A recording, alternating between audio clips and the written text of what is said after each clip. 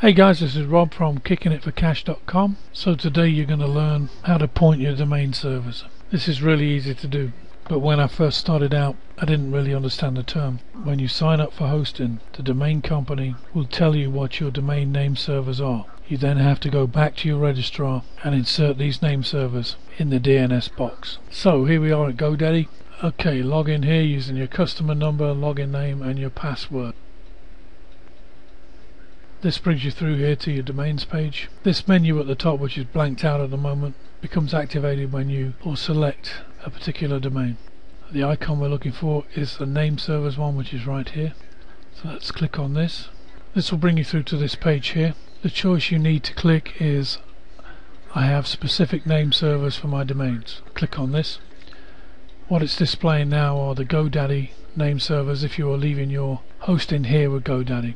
I'm not going to do that. My hosting is with HostGator and when I signed up for the hosting with HostGator they sent me their domain servers and I have to add them in these boxes here. So let's just delete these, GoDaddy, paste in so it's ns2209.hostgator.com and ns2210.hostgator.com.